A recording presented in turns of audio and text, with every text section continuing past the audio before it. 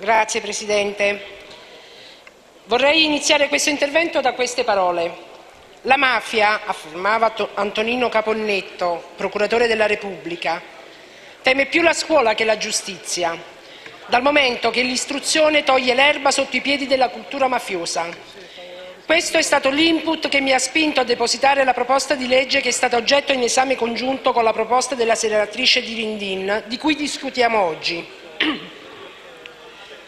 Sono trascorsi ormai più di vent'anni dalle stragi di Capaci e di via D'Amelio e per poter combattere la cultura mafiosa e le sue manifestazioni più o meno estreme è necessario innanzitutto, innanzitutto avere contezza della storia e delle sue radici e soprattutto farle conoscere ai giovani.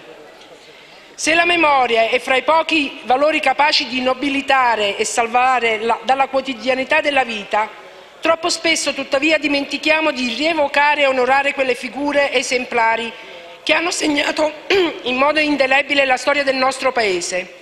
Figure come Giovanni Falcone e Paolo Borsellino, che accomunate dal tragico destino di vittime della mafia a cui si erano fieramente contrapposti, hanno rappresentato entrambi un'icona indiscussa di legalità, onestà e coraggio. Troppo spesso le nuove generazioni rimangono all'oscuro anche del più recente passato, dunque senza sapere neanche chi siano stati Falcone e Borsellino e cosa abbiano rappresentato. Gli uomini passano, le idee restano, restano le loro tensioni morali e continueranno a camminare sulle gambe di altri uomini, sosteneva Falcone. Ma affinché ciò possa verificarsi non si deve dimenticare il sacrificio di questi umili servitori dello Stato.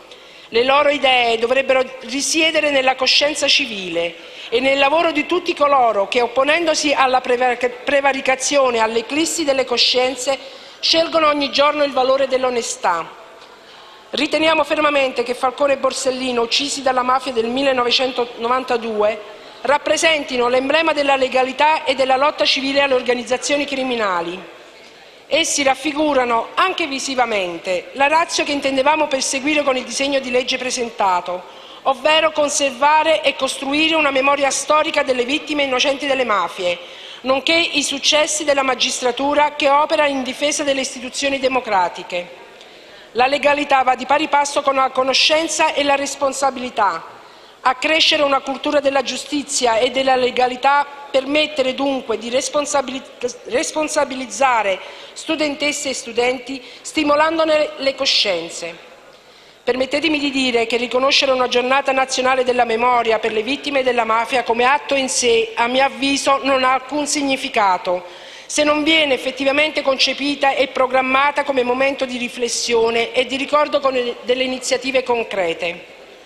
Ora, nell'evidenziare l'approvazione di un nostro emendamento che richiede agli istituti scolastici di ogni ordine e grado la promozione di iniziative volte alla sensibilizzazione sul valore storico, istituzionale e sociale della lotta alla mafia, dobbiamo anche constatare che la nostra specifica proposta di invitare gli istituti scolastici ad esporre un'immagine di Falcone Borsellino, il cui valore è anche quello di contribuire a non dimenticare, purtroppo non è stata accolta, ma è stata accolta dal Governo e dal relatore sotto forma di ordine del giorno.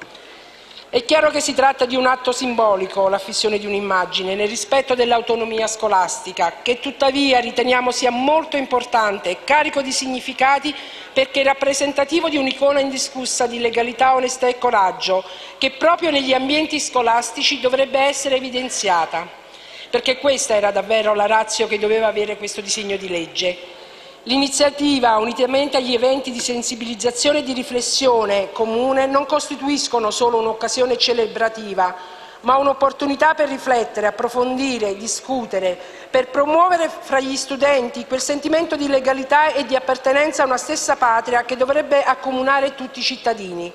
Per quanto fin qua detto, comunico a quest'Aula il voto favorevole del Movimento 5 Stelle. Grazie.